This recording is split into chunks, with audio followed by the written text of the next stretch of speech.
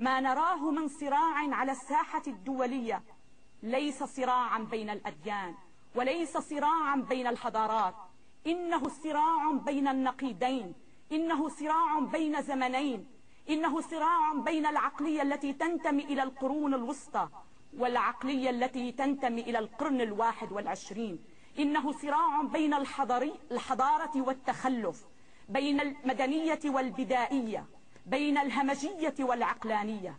إنه صراع بين الحرية والقمع بين الديمقراطية والديكتاتورية إنه صراع بين حقوق الإنسان من طرف واغتصاب تلك الحقوق من طرف آخر.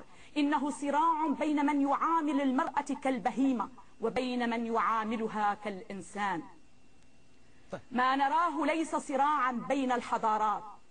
الحضارات لا تتصارع الحضارات تتنافس. يعني نفهم من كلامك أن, أن ما يحدث الآن هو صراع بين الحضارة متمثلة في الغرب والتخلف والجهل متمثلا بالمسلمين؟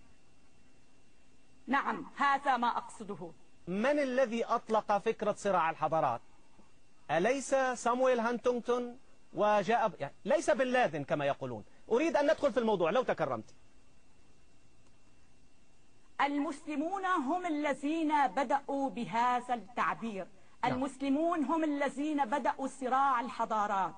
عندما قال نبي الإسلام أمرت أن أقاتل الناس حتى يؤمنوا بالله ورسوله. عندما قسم المسلمون الناس إلى مسلم وغير مسلم ودعوا إلى قتال الآخرين حتى يؤمنوا بما يؤمنون هم أثاروا هذا الصراع. هم بدأوا تلك الحرب وعليهم كم يوقف هذا تلك الحرب أن يعيدوا النظر في الكتب الإسلامية والمناهج التدريسية التي بين أيديهم والمملوءة بالدعوة إلى التكفير وإلى القتال الكافرين. يقول أنه لا يسب عقائد الآخرين. أي حضارة في الأرض تجيز له؟ أن يوصم بشرا بألقاب لم يختاروها لأنفسهم. مرة يطلق عليهم أهل البيت أهل الزمة ومرة يطلق عليهم أهل الكتاب ومرة يشبههم بالقردة والخنازير ومرة بالنصارى والمغضوب عليهم. من قال لكم بأنهم أهل كتاب؟ هم ليسوا أهل كتاب هم أهل كتب.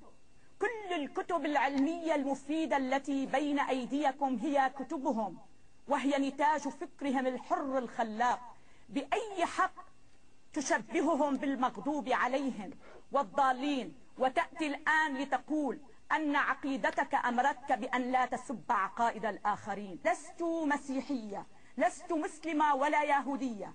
أنا إنسانة علمانية. لا أؤمن بالغيبيات ملحدة. ولكنني أحترم حق الآخر في ملحدة يعني؟ ملحدة؟ تستطيع أن تقول ما شئت. أنا بسألك. أنا إنسانة علمانية. أنا بسألك وعاملك بمنطقي لا. إن كنت ملحدة فلا عتب عليك إن سببت الإسلام هذا ونبي الإسلام لا علاقة الإسلام. لك به. بس دقيقة. يا أخي آمن بالحجر ولكن إياك أن تضربني بها.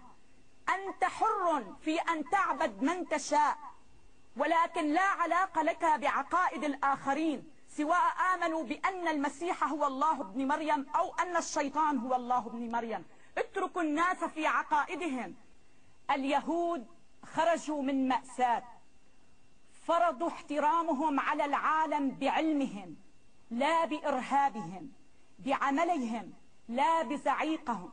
البشرية مدينة بمعظم اكتشافات وعلوم القرن التاسع عشر والقرن العشرين لعلماء اليهود خمسة عشر مليون مشرد في العالم جمعوا شملهم ووصلوا إلى حقوقهم بالعمل والعلم. لم نرى يهوديا واحدا يفجر نفسه داخل مطعم ألماني. لم نرى يهوديا واحد يهدم كنيسة. لم نرى يهوديا واحد يحتج على ذلك بقتل الناس. حول المسلمين ثلاثة تماثيل للإله بوذا إلى حطام. لم نرى بوذيا واحدا يحرق مسجدا أو يقتل مسلما أو يحرق كنيس أو يحرق سفارة. ولكن وحدهم المسلمون يدافعون عن معتقداتهم. بحرق الكنائس وقتل الناس وهدم السفارات. هذه طريقة لن تؤدي بهم إلى نتيجة. على المسلمين أن يسألوا أنفسهم ماذا يستطيعون أن يقدموا للبشرية قبل أن يطالبوا تلك البشرية باحترامهم.